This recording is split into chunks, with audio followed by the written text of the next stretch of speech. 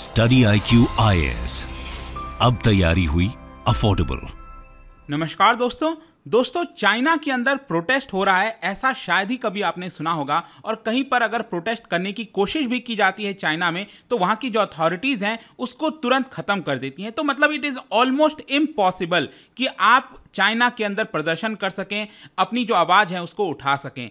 और इसी को देखते हुए यहाँ पर एक बहुत ही इंटरेस्टिंग चीज़ हो रही है, वो ये है कि कोविड को लेकर जो ज़ीरो कोविड पॉलिसी अपनाई गई है शी जिनपिंग के द्वारा उसके विरोध में लोगों ने यहाँ पर अलग अलग तरीका निकाल लिया है। जैसे कि आप देख सकते हो यहाँ पर आपने एक बहुत ही फ़ेमस जो मैं कह सकता हूँ सॉन्ग है डिस्को डांसर का काफ़ी पुरानी मूवी थी उसके अंदर एक सॉन्ग आया था जिमी जिमी राइट तो वो जो सॉन्ग है उसको लेकर लोग यहाँ पर प्रोटेस्ट कर रहे हैं। तो हो क्या रहा है इस समय चाइना में एग्जैक्टली exactly, उसको डिटेल से जानेंगे काफ़ी कुछ जानने को है चलिए आगे बढ़ते हैं लेकिन उसके पहले ध्यान रखिएगा दोस्तों यूपीएससी का जो 2024 का बैच है ये लॉन्च हो चुका है। अगर आप इसके अंदर एनरोलमेंट लेना चाहते हैं तो हमारे स्टडी आईक्यू ऐप पर जाइए और वहाँ पर जो अंकित लाइव कोड है, उसको इस्तेमाल करिए ताकि ये जो पूरा कोर्स है, वो आपको सबसे कम दाम पर मिल सके। इसके अंदर आपको कई सारी जो फैसिलिटीज़ हैं, जैसे कि लाइव क्लासेस हो गया नोट्स हो गया आंसर राइटिंग प्रैक्टिस हो गई मेंस एग्ज़ाम के लिए। साथ ही साथ यहाँ पर जो मेंटरशिप होती है, कोई दिक्कत है प्रॉब्लम है, कभी भी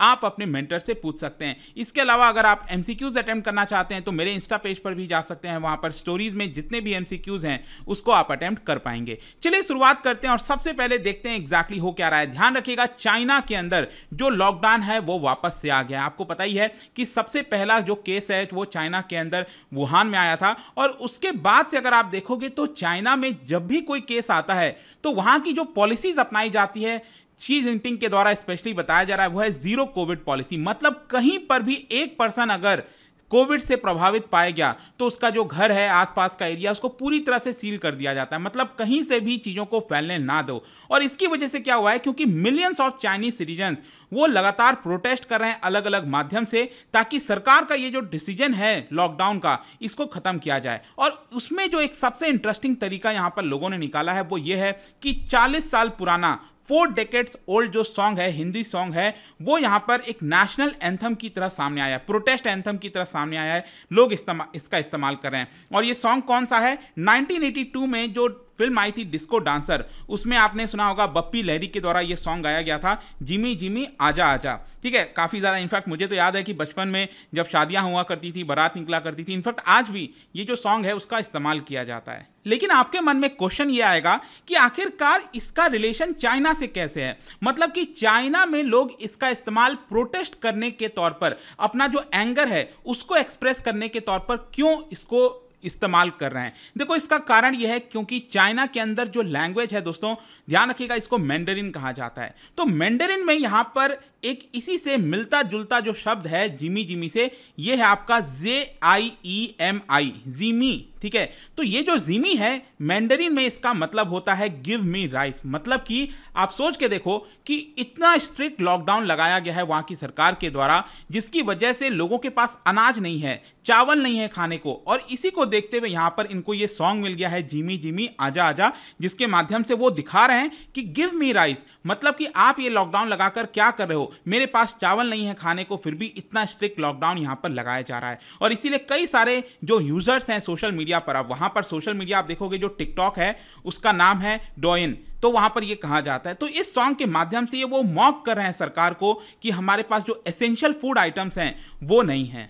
इसके अलावा मैं आपको एक और चीज़ बता दूँ कि ये जो सॉन्ग है ना जिमी जिमी ये एक और कम्युनिस्ट रिजीम में, क्योंकि रशिया के पहले वो यूएसएसआर हुआ करता था। तो उस समय जब ये सॉन्ग रिलीज़ हुआ था तो यूएसएसआर में भी सोवियत यूनियन में भी ये जो गाना है वो काफ़ी पॉपुलर हुआ था। वो सब आपको देखने को मिलेगा, मैं उसमें नहीं जाऊँगा, लेकिन मिथुन चक्रवर्ती ये इस मूवी में थे, ये डांस जो है आपका कर रहे थे। लेकिन यहाँ पर जो क्वेश्चन ये आता है कि आखिरकार चाइना में चल क्या रहा है? देखो, यहाँ पर जो वीडियो सामने आए हैं, जो खबरें सामने आई हैं, उसमें यही बताया जा रहा है कि इट इज़ ऑलमोस्ट इम्पॉसिबल मतलब कि यहाँ पर अगर आप वुहान में स्पेशली वुहान में आपको बताऊँ, वुहान वही जगह है जो हुबई प्रोविंस आप देख रहे हो। यहाँ पर जो चाइना का प्रोविंस है, ये हुबई प्रोविंस और यहाँ पर एक सबसे इसका जो शहर है, वुहान शहर, जहाँ पर पहला केस आया था कोविड का, वहीं पर पूरी तरह से लॉकडाउन लगा दिया गया है। तो वहाँ पर बताया जा रहा है कि इट इज़ ऑलमोस्ट इम्पॉसिबल कि आप रेस्टोरेंट में जाकर खाना खा सको। इसके अलावा वहाँ के देश का जो सबसे बड़ा आईफोन फैक्ट्री है जेंगजाऊ में, वहाँ पर फ्लाइट्स बहुत कम कर दी गई हैं।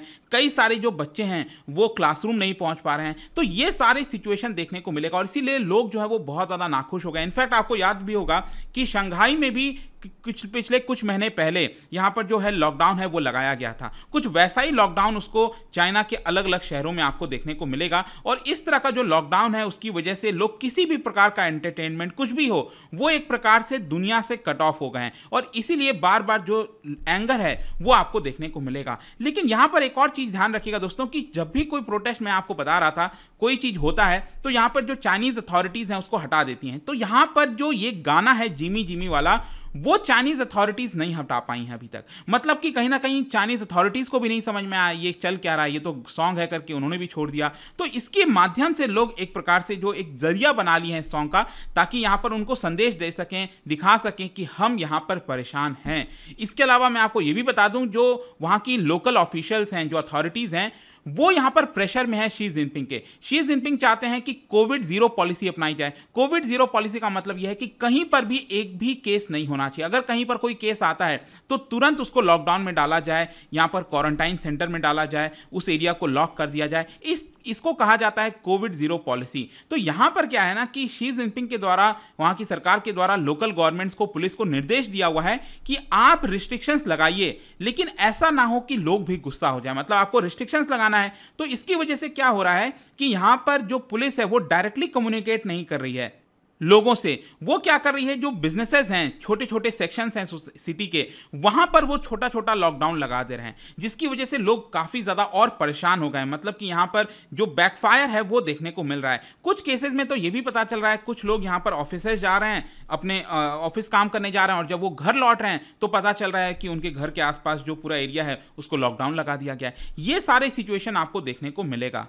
और ये सारी चीज़ें तब हुई हैं दोस्तों, आपको याद होगा, अभी पिछले महीने की बात है, कम्युनिस्ट पार्टी जो कांग्रेस हुआ था, उसमें शी जिनपिंग ने बढ़ चढ़कर ये जो कोविड ज़ीरो पॉलिसी है, उसकी तारीफ़ की थी। कहा था कि किस तरीके से जो चाइना है, वो सक्सेसफुल रहा है कोविड को खत्म करने के लिए। तो ये जो पॉलिसी है, कोविड ज़ीरो पॉलिसी, क्या वो चाइना कंटिन्यू करेगा, खत्म करेगा, क्या करेगा, वो अभी तक किसी को नहीं पता। और इसीलिए लोग यहाँ पर और ज़्यादा परेशान में हैं। China would abandon the economically damaging strategy. मतलब कि ये जो स्ट्रैटेजी लीजिए उससे क्या हो रहा है? काफ़ी बड़ा झटका लग रहा है। डैमेज हो रहा है चाइना को एक प्रकार से आप कह सकते हैं। जहाँ तक कोविड केसेस की बात है चाइना के अंदर तो मैं आपको बता दूँ, अभी रिसेंटली संडे तक जो केसेस आए थे, वो अचानक से बढ़ गए। 802 केसेस से बढ़कर 2675 हो गया। इनफैक्ट ये भी आप देख पाओगे, यहाँ पर आपको पिछले तीन महीने का ग्राफ देखने को मिल रहा होगा। तो यहाँ पर ये जो केसेस बढ़ा था, ये शंघाई का जब पूरा समय आया था, शंघाई में लॉकडाउन लगा दिया गया था, वो आपको देखने को मिलेगा। और अब वापस से यहाँ पर केसेस बढ़ रहा है और इसी की वजह से ज़ीरो कोविड पॉलिसी के तहत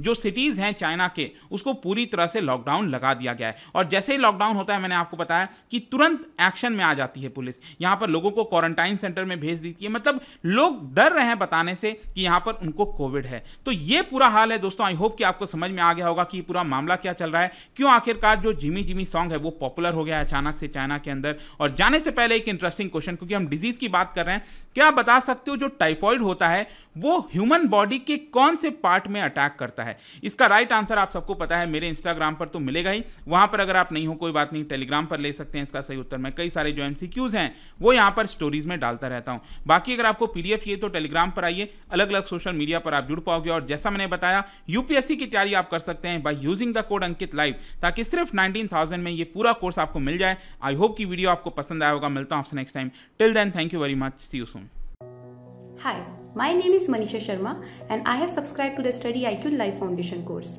UPSC CSE exam requires hard work and proper guidance and Study IQ is the platform that provides proper guidance as well as one-to-one mentorship program. UPSC Life Foundation course is for prelims as well as for mains. It provides live classes, live doubt clearing session, PDF and PPT notes as well as handwritten notes and many more at a very affordable price. I am very much thankful to the Study IQ for such a great platform and I am also very much thankful to my mentor for helping me, for clearing my doubts and for providing me a good advice. Thank you Study IQ. Study IQ IAS अब तैयारी हुई affordable